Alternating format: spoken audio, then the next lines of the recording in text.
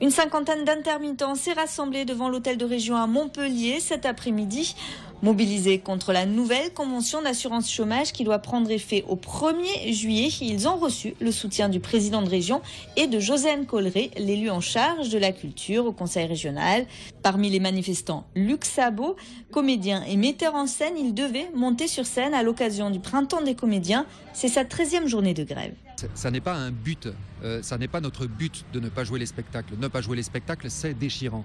Et ça aussi, c'est sensible euh, au moment des assemblées générales, que ce soit les techniciens ou les artistes et les équipes invitées, c'est déchirant. La détermination, elle, est, énorme, énorme.